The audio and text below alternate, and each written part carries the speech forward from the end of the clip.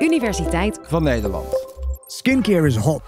Online wemelt het van de 5, 6, 7 tot aan 10 stappenplannen voor jouw huidverzorging. We beginnen met een oliecleanser. En daarna nog een keer met gel cleanser. Daarna een serum, vitamine C serum en een booster. Toner om de pH-waarde van je huid te balanceren. Oogcrème tegen de fijne lijntjes rondom je ogen. De skincare routines zijn eindeloos. Als negende stap de moisturizer. En als laatste is natuurlijk de SPF. Maar werken die producten wel echt?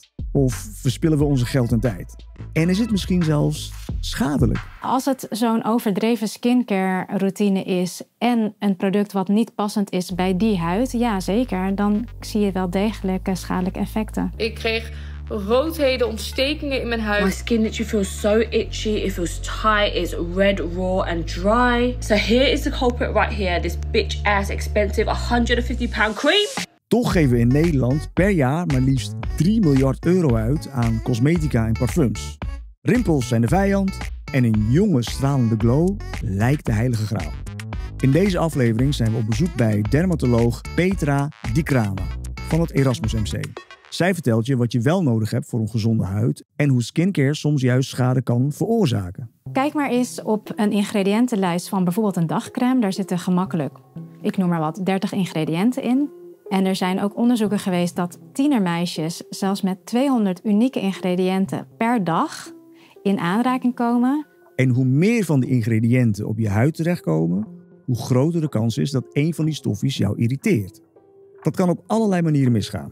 Bijvoorbeeld rood, schilferend tot aan een ernstig eczeem, soms ook met uh, zwelling erbij. Je moet je voorstellen dat um, als je de huid irriteert en als je daar allemaal producten op smeert, dan kun je op termijn een allergie ontwikkelen. Een huidreactie, een allergie.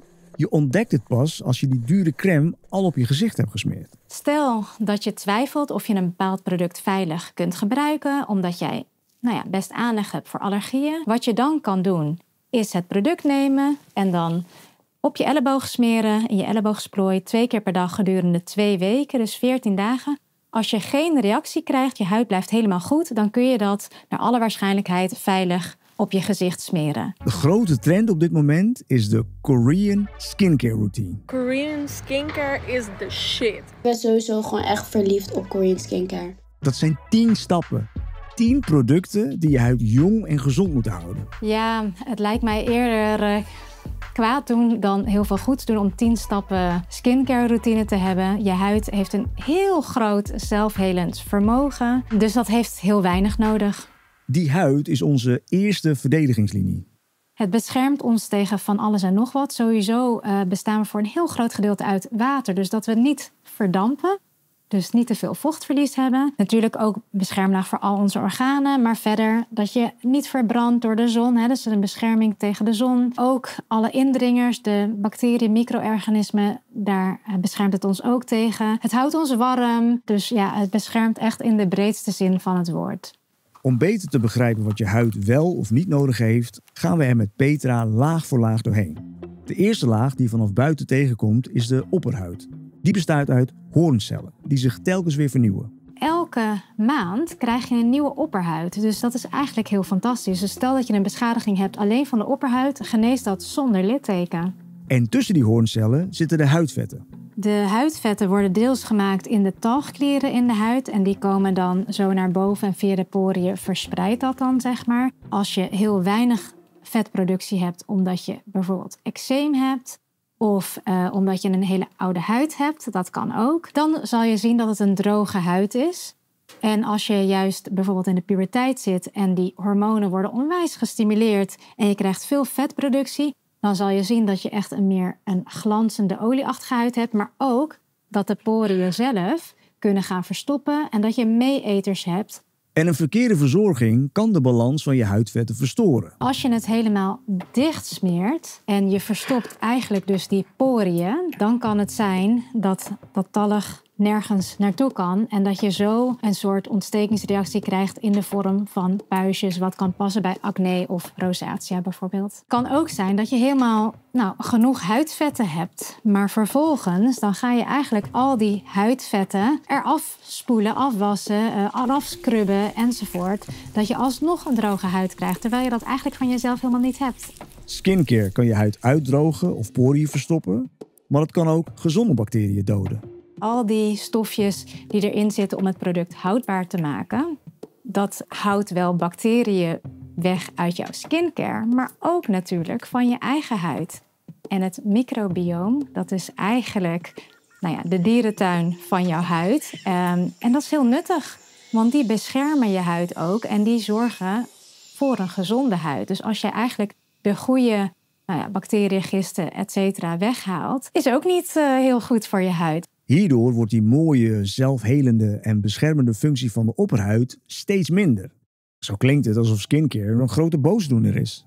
Kijk, um, de huid is in principe, zoals ik net zei, al heel zelfhelend. Alleen kan het soms wel wat ondersteuning gebruiken. Bijvoorbeeld bij bepaalde huidziekten, bij eczeem. Dan maak je huid te weinig huidvetten aan. Dus dan is het heel fijn om vet aan te brengen op die huid, dan heb je eigenlijk een soort afsluitend laagje, waardoor je minder verdamping van water, dus vochtverlies, via de huid hebt. En dan is het enorm nuttig.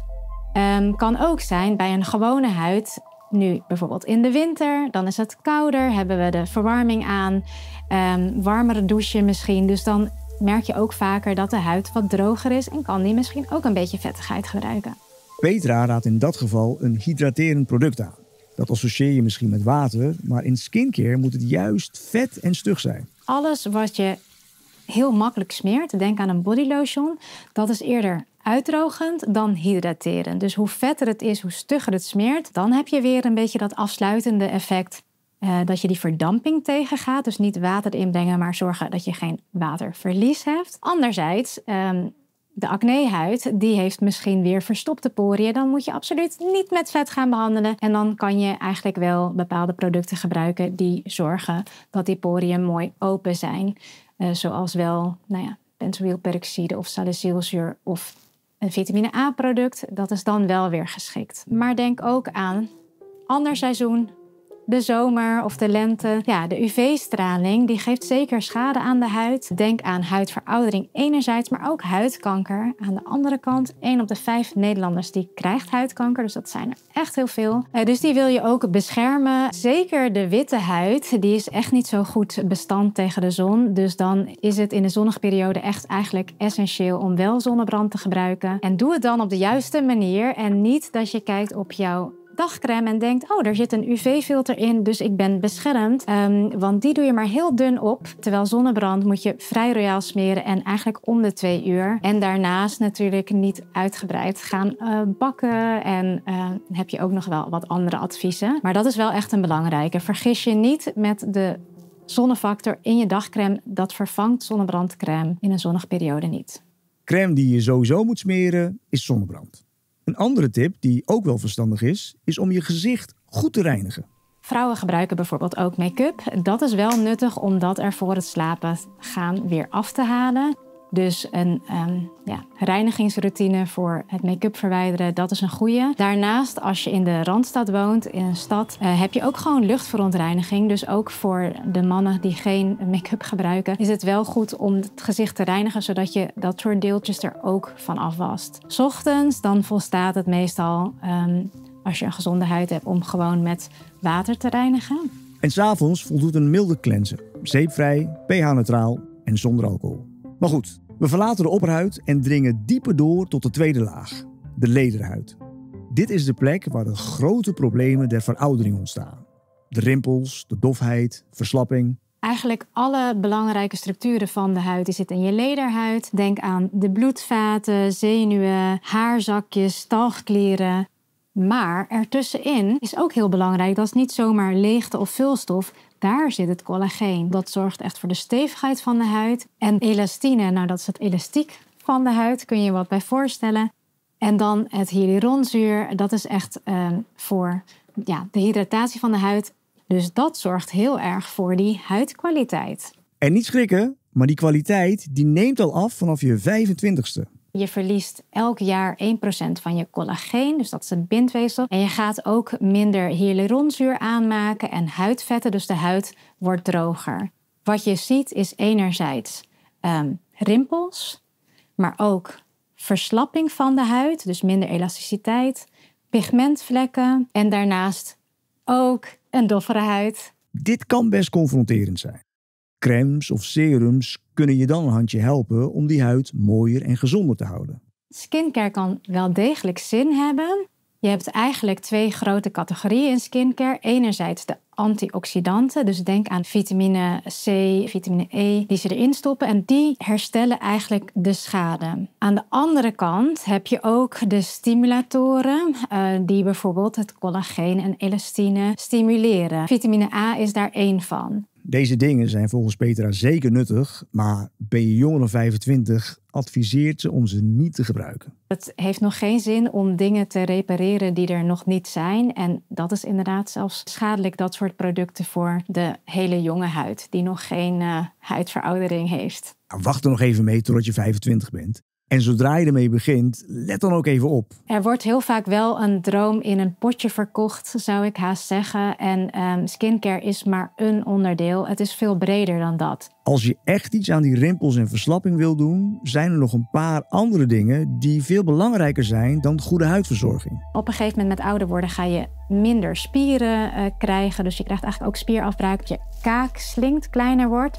En het gat waar je ogen in zitten, dat wordt groter. Als we het hebben over botten, is het heel belangrijk dat je een goede mondhygiëne, een goede mondgezondheid hebt en dat je je eigen gebitselementen behoudt. Dus uh, geen kunstgebit, want dan gaat het veel sneller die uh, botresorptie. Dus dat is een hele belangrijke. Spieren blijven trainen is heel belangrijk, ook voor je gezicht. Als je gewoon op gewicht blijft en niet ontzettend gaat afvallen met bijvoorbeeld een crashdieet, is ook een belangrijke, want je gaat niet alleen het vet op je buik en dergelijke verliezen, maar ook in je gezicht. Niet roken is een hele belangrijke. Je rookt echt je huid op. Ook de vaatjes die gaan samenknijpen. Dus je ziet er ja, uh, doffer uit, um, grauwer, grijzer. Meer rimpels, meer pigmentvlekken. Uh, dus dat is een hele belangrijke. Ja, gezond leven natuurlijk voor alles belangrijk, maar ook voor je gezicht. En voor iedereen onder de 25. Jullie huid is nog fantastisch. Geniet ervan. Ga er heel zorgvuldig mee om. En um, ja, verpest het juist niet. Dus echt less is more. En pas die anti-aging producten gebruiken op z'n vroegst vanaf jullie 25ste.